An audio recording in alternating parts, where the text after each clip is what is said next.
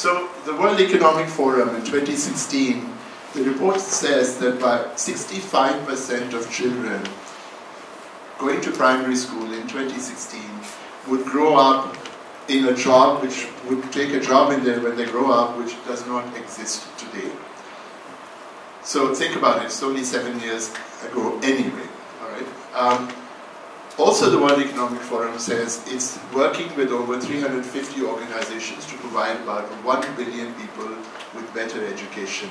1.1 billion jobs are liable to be radically transformed by technology in the next decade. Just get your head around that number for a minute.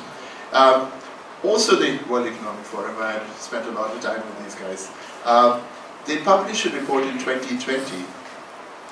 It estimates that by 2025, 85 million jobs will be displaced by a shift in the division of labor between man and machine. And you can see that happening today with things like ChatGPT and others. 97 million new jobs that do not exist today will likely emerge in the next couple of years. Again, scary thought. Um, COVID had a lot to do with some of this because people were forced to actually reskill themselves, um, you know, work from home, get new technology skills, video conferencing skills, and remote telework skills, etc. So that again was something that was forced in a way by nature, if you, if that's the right word. Um, the labor market is still undergoing profound changes. And if you look around you in uh, a lot of corporations, you will realize that they are completely changing the, the way their employees work for them now. A lot of employees actually prefer the work from home uh, uh, environment, and, and so you know the, the employer, employers have to deal with that as well. Um, the advancement of disruptive technology, of course, is already part of it. Now I can kind of relate to that having spent about 32 years in trying to make that disruption happen in many parts of the world. Um, so I would argue that an urgent investment in human capital is required to create a much fairer world if we are going to go forward. Uh, top skills are changing rapidly. Okay, so analytical thinking and innovation, active learning, critical thinking, complex problem-solving capability, and skills in self-management, especially with stress tolerance and flexibility. I see that more and more uh, in the millennials today, the need for doing that than perhaps when I was that age. But it's also part of the ever-changing environment of technology uh, around the world. Um, analytical thinking and innovation is listed today as the number one skill but back in 2015 and 2020, it didn't even exist on the list. So that's how rapidly things are changing. Complex problem solving is the third most important skill in 2025 list, was, was ranked number one in 2015 and 2020. Uh, I guess ChatGPT will take care of that for us in the future.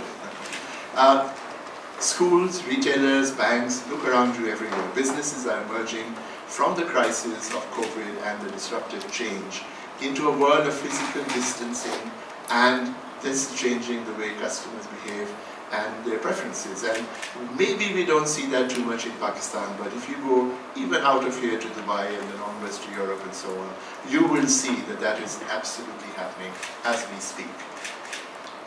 Most people today learn these skills over online programs such as you know YouTube and, and self-training videos um, and, and, COVID has also emphasized that as we move forward. Um, now, and again, 5G, as you know, is a technology which is almost here. It obviously relates to faster speeds of data, lower latencies, and, and massive device connectivity all across the world. Um, now 5G, again, remember, is not going to be enough for a lot of the IoT, Internet of Things devices. Uh, and we are waiting for 6G. Um, I started my career when it was barely 2G, so it's been a rapid deployment over the years. Uh, so I guess what I'm trying to say in the five minutes is that everything is changing, and it's changing really, really fast, guys. So it's time to wake up. The increasing shift towards the digital economy requires a reskilling of the labor force. And I would argue not just the labor force. We're talking reskilling and upskilling our bureaucracy, our judiciary, uh, our workforce in general. Um, it, it's just a desperate time that we need to recognize is happening right now.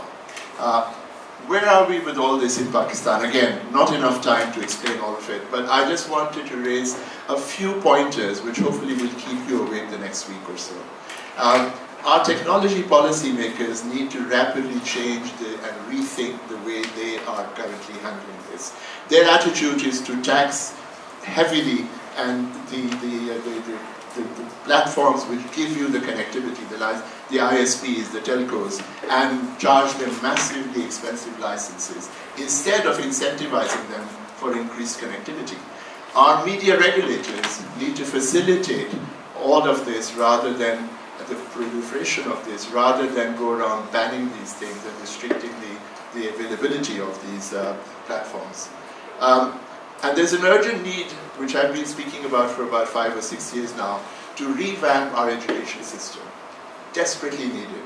The, the government introduced the curriculum reform program a few years ago to align the curriculum with emerging needs, but I argue again, when you look at it, that it needs a rapid review and, and re, revamp very, very quickly. We need to analyze the roles of our schools and universities. What are they doing on their own rather than just depend on government policy? Um, even more important, what is our corporate sector doing about it? Welcome, Walid. What is our corporate sector doing about all of this? Now, I am a product of, a, I don't know, I'm supposed not to mention the names, but two very large corporations over the years. I'm a product because they trained the hell out of me. Millions of dollars were spent in training people like me and a lot of those are today the chief executives of companies around Pakistan and in the region. That's why they are there, because they were they had investment in training. When I ran one of the largest mobile companies in the country, uh, we invested several million dollars a year to make sure that our employees were prepared for what was coming next. As a result of that, a lot of them are all across the industry today, but not only in the country, but also in the region, and as far away as the Caribbean and the UK and so on. So a fresh new approach is required for thinking even within the corporates and the, and the business sector. We need to further enable our technology entrepreneurs, the startup ecosystem, which you know, we spent the last seven years or so uh, doing that, recognizing that this is something that is desperately required. And we need to encourage them with policies and platforms to encourage the digitization and keep abreast with technology. Ladies and gentlemen, we need to declare a national emergency, and there's no two ways about it. Hope that keeps you awake for a while. Thank you.